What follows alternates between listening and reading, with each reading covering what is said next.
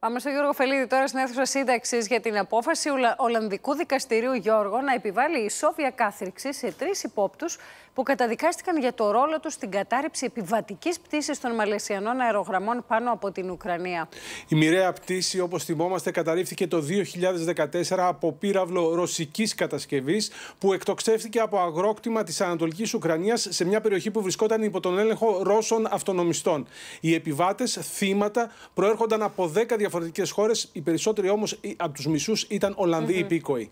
Οι ύποπτοι καταδικάστηκαν ερήμην και παραμένουν φυγόδικοι. Πρόκειται για δύο Ρώσους αξιωματικούς των μυστικών υπηρεσιών και έναν φιλορώσο Ουκρανό αυτονομιστή ηγέτη που κρίθηκαν ένοχοι για το θάνατο των Μάλιστα. 298 επιβενόντων. Σε ευχαριστούμε πολύ, Γιώργος.